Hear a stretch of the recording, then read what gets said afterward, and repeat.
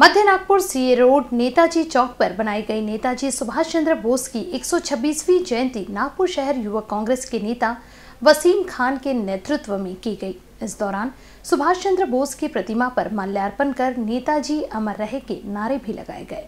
इस मौके पर वसीम खान ने नेताजी के जीवन पर प्रकाश डाला और उनके ही विचारों को व्यक्त किया। कहा कि सफलता का दिन दूर हो सकता है, लेकिन उसका आना ही अनिवार्य है। इस मौके पर ब्लॉक अध्यक्ष गोपाल पट्टम, ब्लॉक निरीक्षक महेश श्रीवास, प्रदेश कांग्रेस महासचिव एवं प्रदेश व्यापार उद्योजक सेल के अध्यक्ष अतुल कोटेचा, वरिष्ठ नेता रमन पैगवार, प्रदेश महिला महासचिव नफीसा अहमद, सेवा दल नेता बबन राव दुरुक्कर, नगर सेवक जुल्फिकार अहमद भुट्टो आदि उपस्थित थे। इन न्यूज़ के लिए कैमरा पर्सन राजकुमार मोहड़ के साथ क्षितिजा देशमुख की रिपोर्ट।